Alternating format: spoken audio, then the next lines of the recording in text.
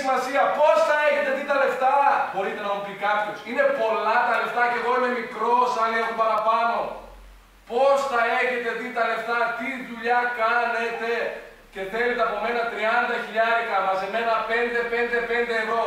Τι θέλετε από μας; Δεν γίνεται. Δεν μπορώ να το κάνω. Θα ήθελα πολύ να έχω 300.000 ευρώ. Δεν έχω. Και αν σας έχω κλέψει και είμαι φορτογάς, Πιάστε με και βάλτε με φυλακή. Αλλά πώς έχετε δει τα λεφτά.